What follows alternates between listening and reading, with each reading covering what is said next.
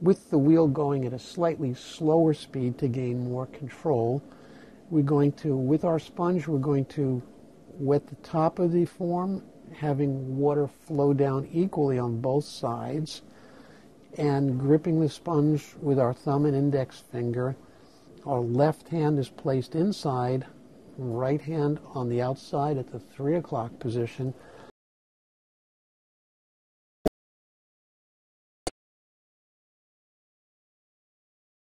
Right hand is going to be pushing in our right fingers, and we are going to start the V shape by slightly more pressure with our left hand pushing out, right hand supporting.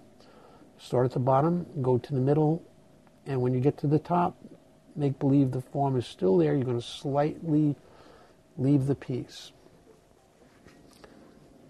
Gripping it at the top with your left hand to support it, right hand with the sponge round out the top of the bowl shape to compress it, to give it more strength and to keep the symmetry.